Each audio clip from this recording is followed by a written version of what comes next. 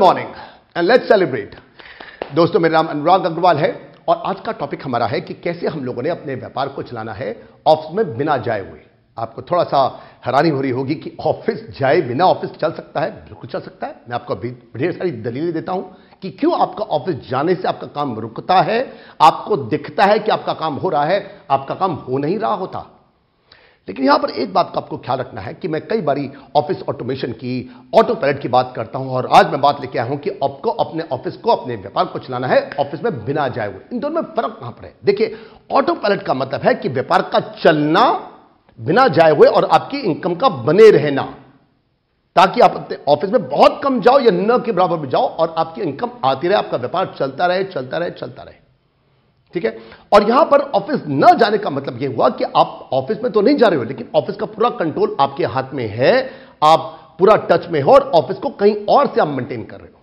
Clear दोस्तों, जैसे मैं आपको बता रहा था कि मेरा नाम अनुराग अग्रवाल है और मैं पिछले करीब 18 सालों से पब्लिक स्पीकिंग की और कैसे अपने बिज़नेस को अपने आगे बढ़ाना है बिज़नेस कोर्स की मैं ट्रेनिंग दे रहा हूँ 18 सालों से। और हमारे दिल्ली और एनसीआर में 10 सेंटर है। आप इन कोर्स को ज्वाइन करने के लिए ऊपर लिखे हुए नंबर पर आप कॉल कर सकते हैं। और अगर आप दिल्ली के बाहर कहीं रहते हैं और आप यहाँ पर आके इस कोर्स को करना चाहते हैं तो हमारे ढेर सारे पीजीज हैं, बहुत सारे लोग दिल्ली से, दिल्ली के बाहर से भी, और दिल्ली के बाहर क्या, देश के बाहर से भी लोग यहाँ पर आते हैं, और यहाँ पर ऐसे पीजी रहते हैं, और उस कोर्स को करने के बाद वापस आते हैं। और किसी कारण से अगर आपको, आप नहीं आ सकते, लेकिन आपको वीडियोस लगातार चाहिए तो मेरे चैनल को ज़रूर सब्सक्राइब कीजिएगा, और साथ में बेल आइकन को हिट ज़रूर करना, नहीं तो आपको वीडियोस नहीं मिलेंगी। और मैं आपको व्यापार की आज बहुत अच्छी एक बात बताने वाला हूँ कि किस प्रकार से अपने, जैसे आपको बता के चुका हूँ मैं कि अपने व्यापार को अपने कैसे चलाना है आगे आ, बिना ऑफ़िस जाए हुए। लेकिन हाँ मैं आपको बता दूँ कि मैं एक अग्रवाल हूँ मैं एक बनिया हूँ।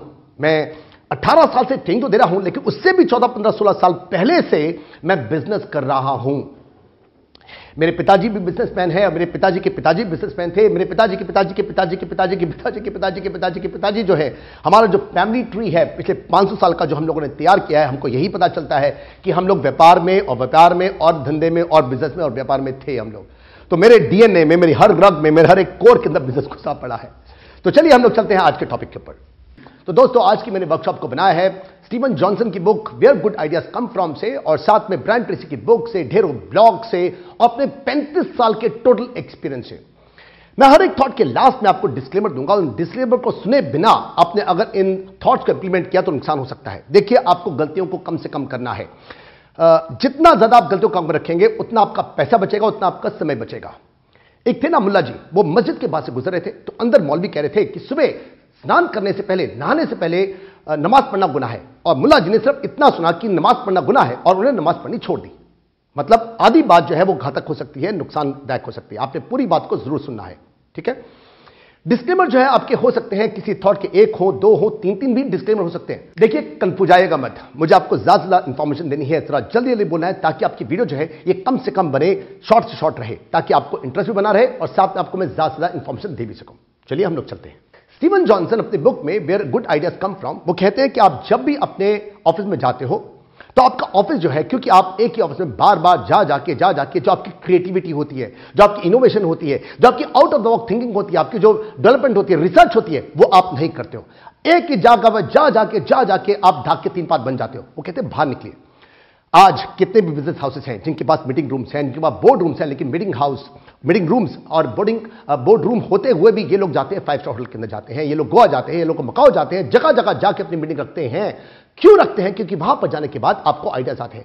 स्टीवन जॉनसन कहते हैं अब जाइए, आप जाइए सीसीडी के अंदर, आप लोग जाइए बरिस्ता के अंदर, आप स्टारबक्स में जाइए, यहाँ पर जाके आपको मिलना है किससे?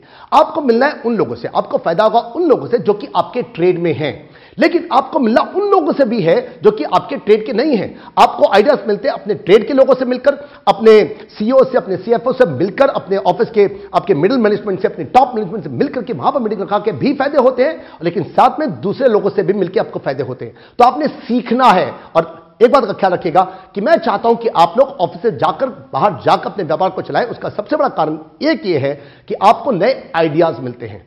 बाहर से, अंदर से नहीं मिलते। ख्याल रखिएगा, अंदर काम करके, अपने ही ऑफ़िस में बैठ करके आपको आइडियाज़ नहीं मिलते। कुछ एक बातों का आपने ख्याल रखना है, सबसे पहले कि अगर आपने आइडियाज़ लिए हैं कॉफ़ी शॉप में जाकर या अपने फाइव स्टार होटल में जाकर या फिर ऊटी, कुडे, कनाल, मसूरी, शिमला या गोवा या बकाओ जाकर आपने किया अपने बिज़नेस के हिसाब से, जितना बड़ा बिज़नेस है, उतना ज़्यादा अपने दूर आप मीटिंग को रख सकते हैं। उसके बाद वापस आइए और वापस आने के बाद अब आपने टाइम्स को वेस्ट नहीं करना है और उसको बिल्कुल इंप्लीमेंट कीजिए।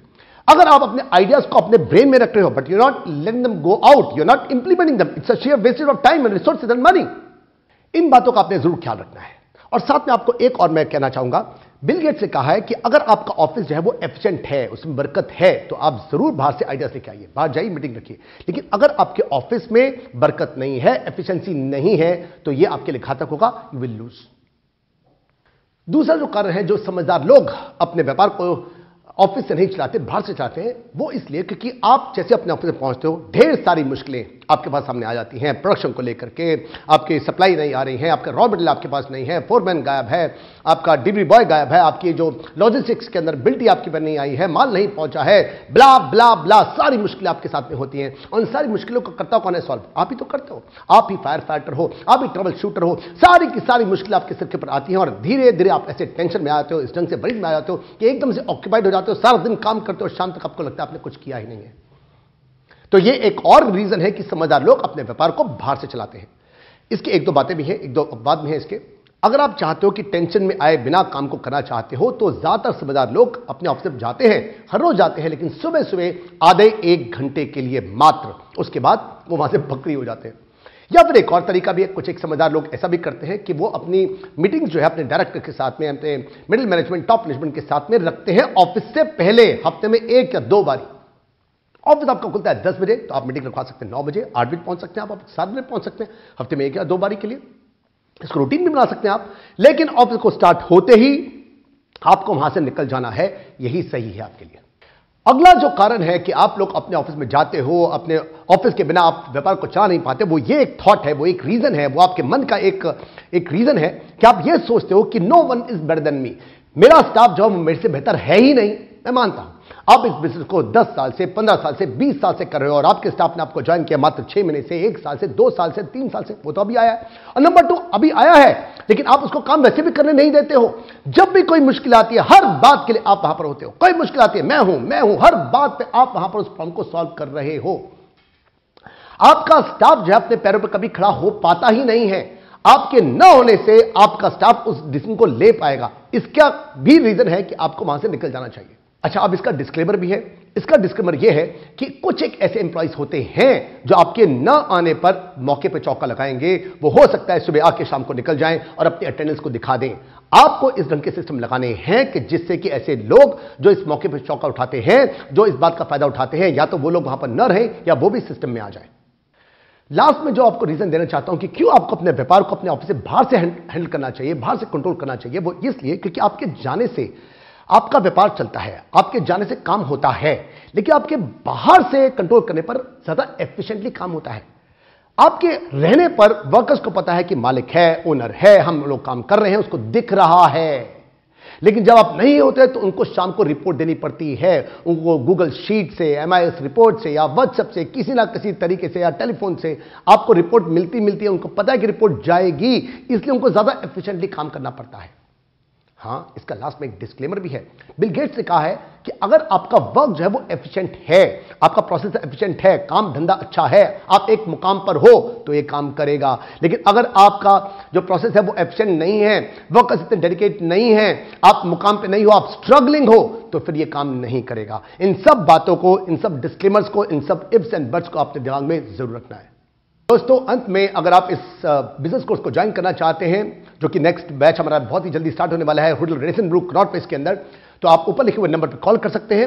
और साथ में अगर आप लोग यहाँ पर पीजी गेस्ट की तरह रहना चाहते हैं, जैसे मैंने आपको बताया था, दिल्ली के बाहर अगर आप रहते हैं या इंडिया के बाहर रहते हैं, बहुत सारे लोग यहाँ पर आके एज ए पीजी गेस्ट यहाँ पर रहते हैं। आप पीजी पीजीज भी हैं, आप यहाँ पर आके रह सकते हैं। उसके लिए भी आपको ऊपर नंबर पर कॉल करना है। लेकिन अगर आपको ये वीडियोस आप घर में बैठ के चाहते हैं तो सब्सक्राइब कीजिए और साथ में बेल आइकन को ज़रूर आप हिट कीजिएगा। और हम लोग मिलते हैं आज के दिन, आज के दिन मेरी नेक्स्ट वीडियो में। बाय बाय गुड नाइट शुभ खैर